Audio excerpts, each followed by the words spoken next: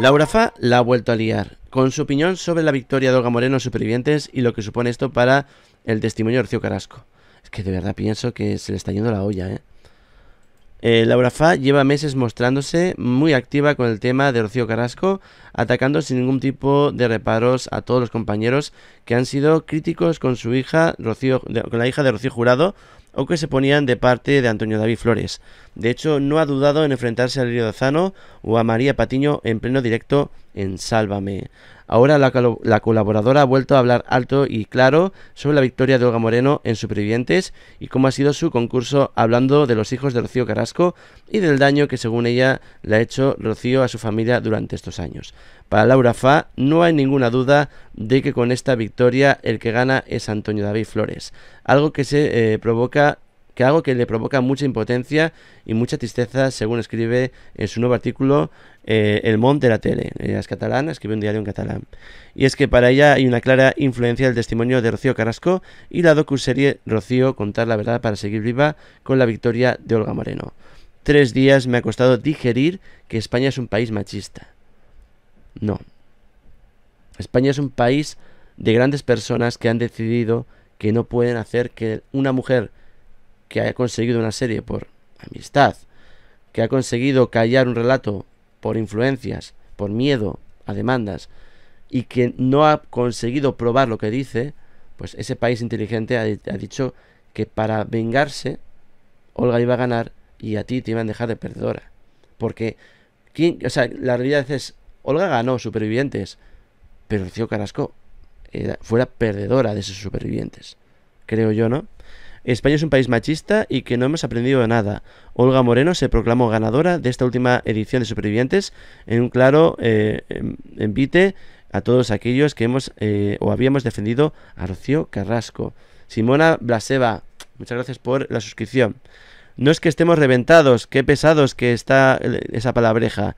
Es que algunos teníamos la fe en la especie humana. Hay gente que se ha tomado demasiado tremenda. Mira, igual que Miguel Frigenti opinaba como opinaba por dinero, Laura Fallo creo que realmente ella sí opinaba lo que sentía, ¿no?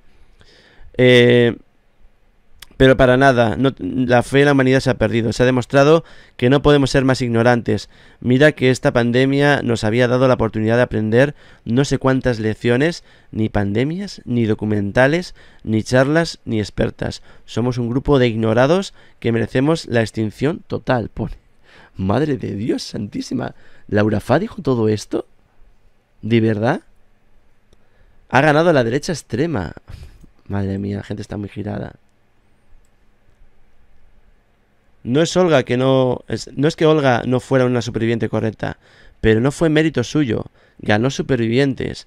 Antonio David Flores, gracias a las 10 líneas... ¿A qué me estás contando, guapa? Gracias a las 10 líneas de recarga de móviles y ganó la derecha más extremista de este país. Esas líneas de recarga sin personas detrás, detrás se caen y todos tenían líneas de recargas. ¿Qué me estás contando? Y díselo a tu cadena, a tu productora, o a la productora de Bulldog, ¿por qué permiten que se pueda mandar más de un mensaje por persona? ¿Vale? O por número. Ganó la derecha más extremista que fomenta la violencia de género, o que la niega, quiero decir, y que aplaude la violencia vicaria. La violencia vicaria no existe. Me habéis pasado, una persona me pasó con mucha educación, dos...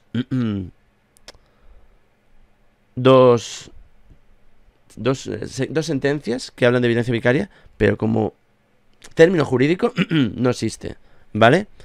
Y tras acusaciones de tongo por parte de redes, incluso de concursantes como Gianmarco, Melissa o Laura Fa, les contesta muy directa, no amigos, no hay trampa, no ha sido Telecinco quien ha premiado a Antonio David, hemos sido nosotros solitos los que nos hemos cubierto de gloria. Bueno, vosotros, yo no.